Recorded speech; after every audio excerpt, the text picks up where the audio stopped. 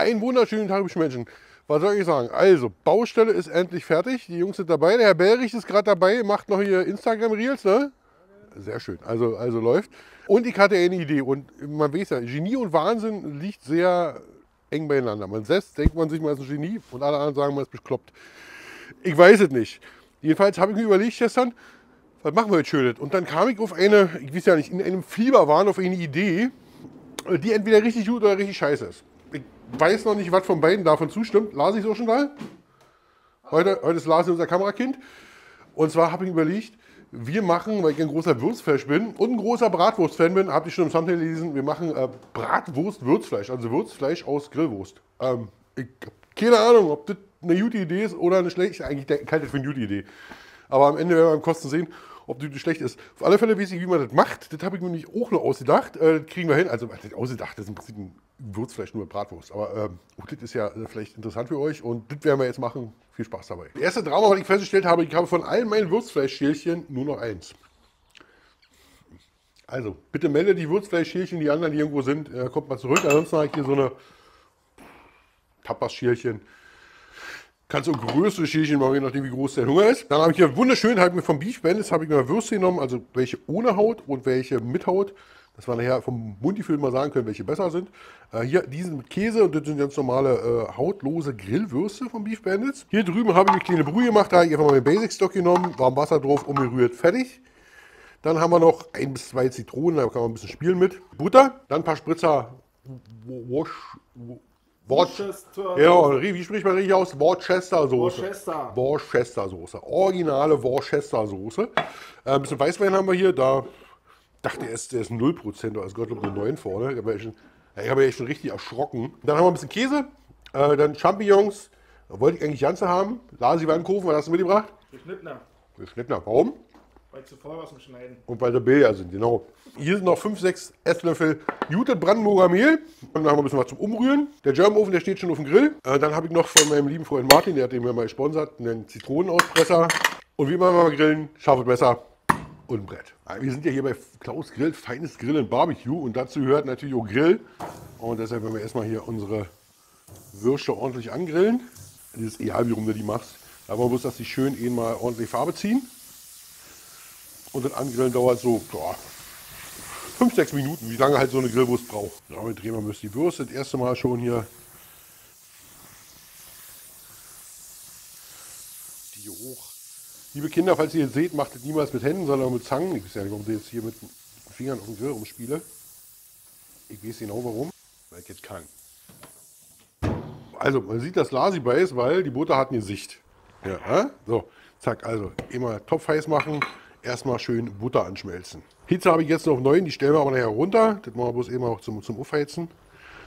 Was schön ist hier German Ofen. Das wird echt super schnell warm. Ich habe jetzt so mit so einer Kontaktplatte hier drunter.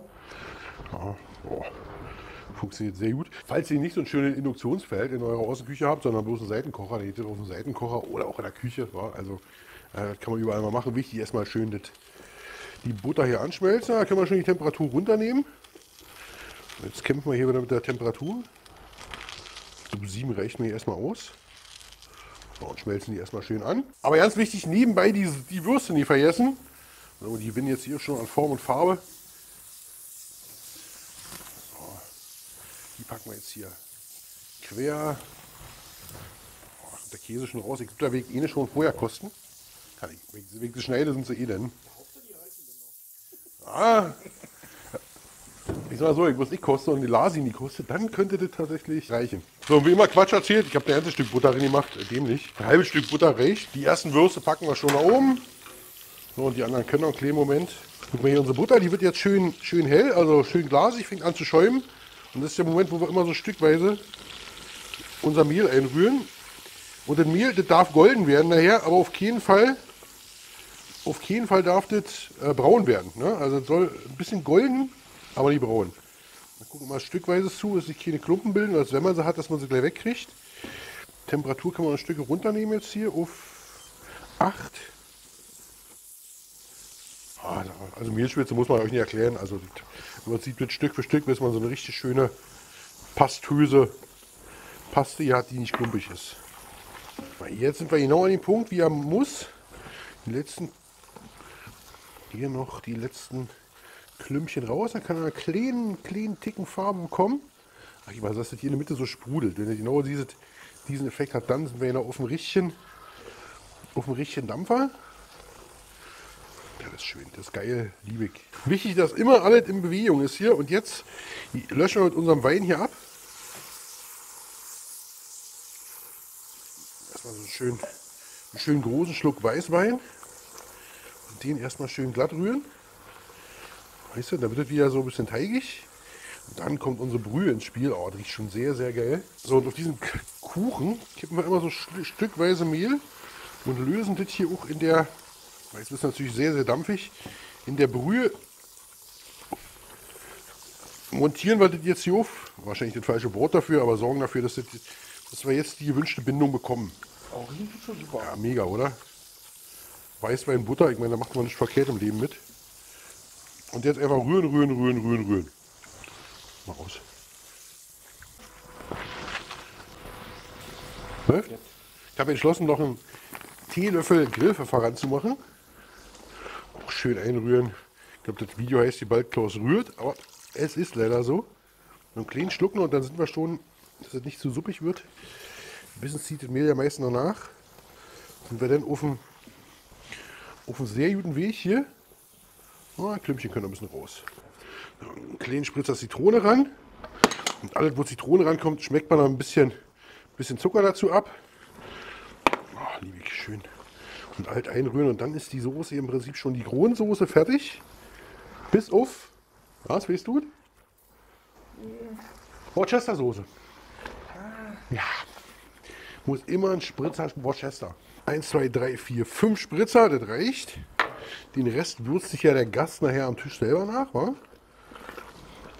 So, und dann können wir den hier schon, den Herd, ausmachen. Die wischen eben auch schon zwischenzeitlich immer runter. bei Würzfleisch hat man immer relativ kleine Stücken. Und das mache ich jetzt so hier, habe ich mir überlegt, dass ich die Wurst einfach eh mal längs halbiere. Dann die halbierten halbieren, ohne mal. Dann haben wir praktisch, ah, machen wir so rum. Haben wir sie so umgeviertelt. Wir schön wie beim Würzfleisch richtig kleine Stücken. Und die stellen wir jeweils hier runter. So gleichmäßig, ungleichmäßig. Ihr kennt das Spiel. Das Stück ist zu groß. Und, jetzt könnt ihr dreimal raten, was damit passiert. Richtig, immer kosten.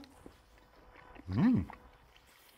Wobei, ich finde ja eher ein klassische Wurst mit Darm besser, aber im Dienste der Wissenschaft nehmen wir die, aber habe jetzt richtig Bock drauf. Wir jetzt nochmal, da mupse ich mir ein Stück. Dann machen wir die Käsewurst nämlich genauso. Aber davon ja, nehme ich mir hier so ein, so ein Quetschi.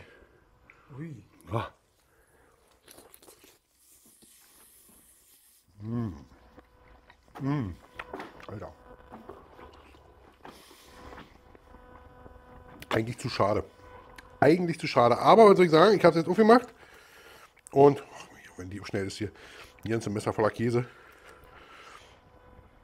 Aber gute Zutaten macht dem gutes Essen. So ist es. Und wenn da ein bisschen Käse in die Soße aus den Würsten mit drin läuft, ist das auch kein Ver Verbrechen. Und wie gesagt, machen wir mit allen Würsten die Schnürbelback und versenken die hier.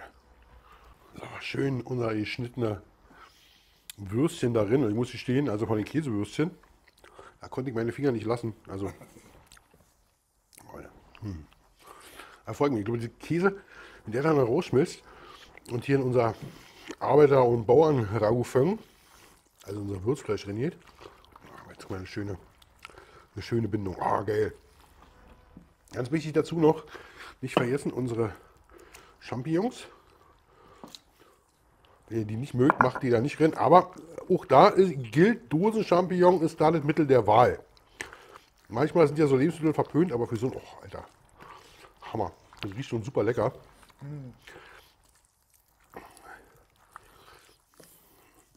So, ich schmecke gleich noch mal immer ab. Aber mir ist jetzt nur um die Soße, ob die mehlig ist oder ob die überhaupt nicht. Mm. Mm, mm, sehr, sehr gut. Und ich würde sagen, Nasi, wir kommen gleich zum Überbacken, wa? Und im Prinzip total easy. Wir füllen einfach nur in unsere Förmchen ein. So, ein bisschen Platz oben noch lassen für Käse. Oh, geil. Es sieht irgendwie aus wie ein, wie ein Ragoufeng, also wie ein Würzfleisch, aber irgendwie, irgendwie doch anders. Ja, zu hoch, war zu Fülle? Ach, scheiße, wollen die geizig sein, ne? Das machen wir praktisch mit allen Förmchen. Läuft, filmst du? Immer. Alter, hier ist ein, hier ist ein, ein Drama in diesem Set. Ich sage, der will- soll nicht gefilmt werden. Weil ich das schon erzählt habe, der filmt trotzdem. Ja, also. Pass auf. Jetzt kommt der schwierigste Teil. Natürlich überhaupt nicht. Immer hier schön Käse drauf. Also, welchen Käse haben wir da mitgebracht? Gratinarkäse. Gratinkäse, Gratinierkäse. Also zu Ostzeiten hätten wir wahrscheinlich eine Scheibe Gouda darauf gemacht. Oder Emmentaler, was man gerade gekriegt hätte, aber da hätten wir auch keine Bratwurst drin gehabt. Also von daher auch alle Kritik an diesem Rezept, was das Thema Originalität angeht. Es ist nicht original, es ist anders. Schön immer hier rüber. Vielleicht wird das jetzt im Original. Ja, so wie gesagt, Genie und Wahnsinn. Aber ich glaube, das könnte auch ein Wahnsinn sein. Ich, ich weiß es nicht. Also Portionsmenge, die wir jetzt hier machen, reicht bestimmt aus mit zwölf Würsten für mit Sicherheit sechs Leute, war. Komm. Also Mehr. mehr. mehr. Also, naja, als, als Vorspeise für zwölf.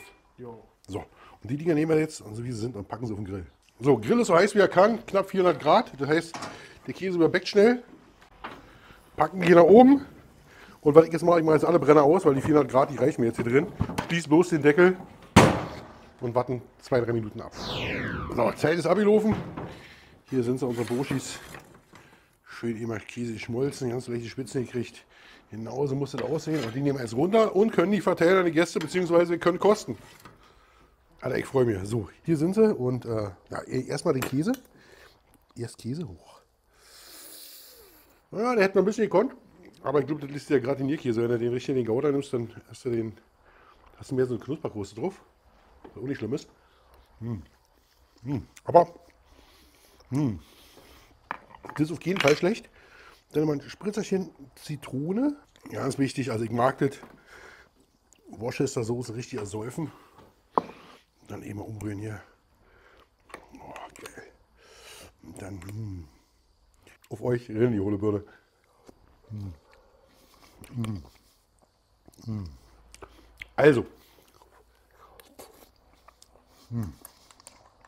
Natürlich ist klar, wenn mir das irgendjemand als, als Würzfleisch andrehen würde, würde ich zurückgehen lassen. Aber ich finde das erstaunlich geil. Aber als Variante vom Grill war, Super hier mit dem, mit dem, mit dem, mit, mit Wurst drin. Oh, schöne Barbecue-Soße. Ah, die, die Worcester-Soße, Käse dazu. Also richtig so eine richtig schöne mm, Matsche Patsche. Kriegen wir hier mit einem langen Faden. Mm, mm, mm. Sehr, sehr geil. Wenn dir einfach Bratwurst zu langweilig ist, ist das eine Option. Wenn du der größte Original-Würzfleisch-Fan dieser Welt bist, Probiert es trotzdem aus. Ich glaube, Original Würzfleisch ist Original Würzfleisch, aber die Nummer ist echt geil. Die ist geil. Die ist irgendwie anders. Mm. Also, Genie oder Wahnsinn? Wir wissen es nicht, beziehungsweise ihr könntet runterschreiben, genial oder wahnsinnig, weil das Genie möchte ich nicht betreiben. Könnt runterschreiben, genial oder wahnsinnig.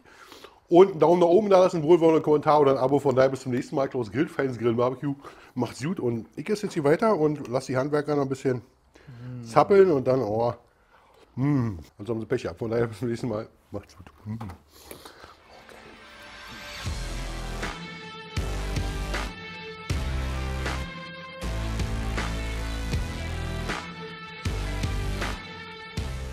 Beef Bandits.